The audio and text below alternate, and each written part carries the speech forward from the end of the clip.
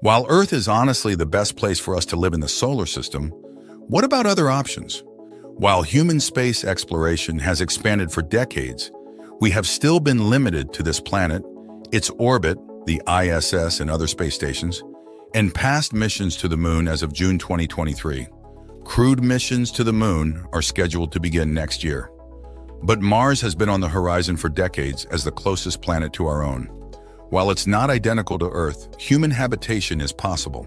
So let's dive into 10 reasons to colonize and live on Mars. As the closest planet to home, Mars sits at an average of about 140 million miles, 225 million kilometers, but varies widely with the closest approaches at about 39, 63 million miles, 62, 101 million kilometers apart, and the opposition when both are at aphelion can be 249 million miles, 401 million kilometers apart. To make the fastest and most efficient trip, space agencies plan for a launch window around the closest approaches. But they also have to consider options like fuel efficiency, and so they might choose to use gravity assists around other astronomical objects like Venus, Earth, or the Moon to speed up the spacecraft, which makes the exact travel time a little more complicated. In general, a crewed mission to Mars would likely take about 6.5, 8 months one way. While that's a long time to be in space, it's short compared to any other destination. This makes Mars the most reasonable next destination in space after the Moon for human space exploration, while Venus is closer, extreme temperatures, atmospheric pressure, and toxic atmosphere make it uninhabitable for humans even though recent research suggests conditions may be favorable for bacteria in certain altitudes of its atmosphere. In fact, NASA's upcoming crewed missions to the moon are actually much bigger than simply lunar colonization. They are the stepping stones for sending humans to Mars by the 2040 ES.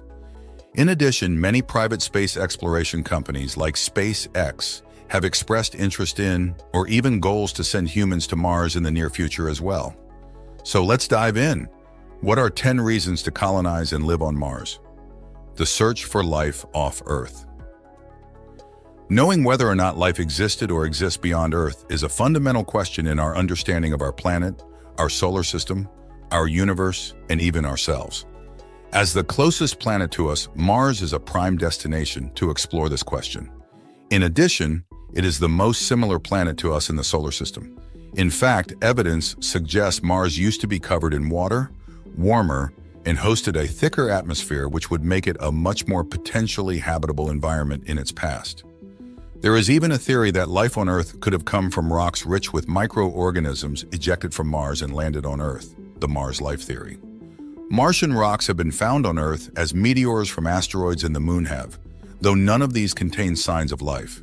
Human colonization of Mars would increase the chance of finding evidence of past or even current life on another planet. Understanding the surface of Mars and its evolution. Studying the surface of Mars will help us uncover clues about this past, its evolution to its present-day state, and possibly even our own future. If Mars used to be like Earth, then Earth's future may look like Mars. Studying the evolution of its surface can help us understand if it is a potential future for Earth, which provides vital information in our stewardship of the planet for the next several decades and even centuries. Testing ground and launch pad for future human space exploration. If we can colonize and live on Mars, it will allow us to test further human space exploration, helping us to develop better and safer technology that could be used in more hostile environments like those further out in the solar system or asteroids. In addition, Mars has about 38% the gravity of Earth, requiring spacesuits to weigh us down and move effectively on the surface which means that it would be easier to launch a spacecraft from Mars than it would be from Earth in terms of escaping the planet's gravity. It could prove to be an efficient spaceport for missions to the outer solar system due to this, and the fact that it is slightly closer to those targets than we are. Develop new technologies. Exploration has always fueled innovation, especially with technology. Many common objects in daily life today, like GPS, medical diagnostic tools, wireless technology, cordless power tools, sports bras, diapers, solar panels, camera phones, and the rumble strips on the highway are because of space exploration. Many medical innovations have come from NASA's research, such as implantable heart monitors, invisible braces, computerized insulin pumps, and artificial limbs. The continual robotic exploration of Mars has fueled innovation in robotics, geology, coding, communications, and more. In the words of Mary Roach in Packing for Mars, if it's cordless, fireproof, lightweight and strong, miniaturized, or automate, chances are good NASA has had a hand in the technology. The challenge of sending humans to live on Mars will push us to create new innovations that will not only help the Mars dwellers, but us here at home. When the space race started, most people wouldn't have even dreamed of some of the technology we have today because of human space exploration. Who knows what we will create in the service of living on Mars that will have a daily impact on future generations, both there and here. Encourage space tourism. We've talked about the current feasibility and cost of going to space today, including after you've died, along with the pros and cons of space tourism in general. We are already sending humans into space at an increasing rate and lower costs, though it's often still out of reach for the average person as of 2023. The goal of colonizing Mars fuels innovations in space tourism and vice versa. As we plan for and eventually send the first humans to Mars, their innovations and tests of these technologies will help us improve space tourism closer to home, making it more accessible and safer for everyone. Just as the airplane used to be an extravagance only for the wealthy, space tourism will become more and more available to the average person as human space exploration continues. Offer space mining opportunities. The idea of mining minerals and chemical compounds from astronomical objects like the moon, asteroids, and planets has been suggested and studied time and time again, especially to fill the growing needs of the technology sector. Whether this truly solves our issue of non-renewable resources or simply elongates our timeline is another matter. However, colonizing Mars could help us better understand how to safely and efficiently harvest valuable materials on the Martian surface and beyond. One of the pieces of equipment on the Perseverance rover, the Mars Oxygen Experiment or MOXIE, is working on converting Martian carbon dioxide into oxygen and is paving the way to help humans live and work on Mars advancing science in general.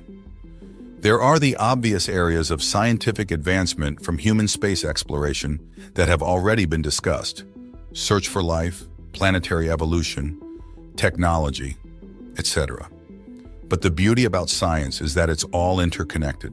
When we push the boundaries of one area of science, we often make discoveries that impact other areas of science. Exploring and living on a planet other than our own will help us better understand astronomy, physics, and geology, as well as less expected areas such as biology, neurology, and psychology, as humans have to deal with living in isolation, not just from people, but from many of the comforts of life we have become accustomed to. Another point to note is that many advocate that scientific discovery would happen much faster if humans were on Mars as opposed to just robots. While robots can do an immense amount of research, there is something special about the human brain and its ability to make connections and be creative, ensuring our survival. An obvious reason that is often brought up when discussing sending humans to and colonizing Mars is using it as a second home. If we have humans on planets other than Earth, it provides us with a backup home, so to speak, if something were to happen to Earth.